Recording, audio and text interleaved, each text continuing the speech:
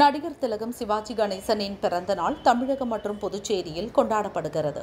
புதுச்சேரி கிழக்கு கடற்கரை சாலையில் உள்ள சிவாஜி சிலைக்கு புதுச்சேரி அரசு சார்பில் சபாநாயகர் செல்வம் அமைச்சர் சாய் சரவணன் மற்றும் எம்எல்ஏக்கள் மாலை அணிவித்து மரியாதை செலுத்தினர்.